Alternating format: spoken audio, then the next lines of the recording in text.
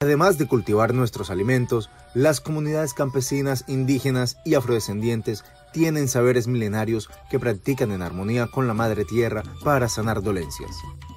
Eh, Santa María, Santa María hembra y Santa María macho hay. ¿Ya vio? Ese es para baño. Baño que usted tenga un resfriado en el cuerpo que no se le quite el malestar como la gripa. Y eso lleva también, en ese baño lleva que hoja de malva, hoja de guandú, entonces lleva también un preparativo que se llama que la hoja de guarumo. Hoja de guarumo, bas de maíz, todas esas cosas las lleva el baño.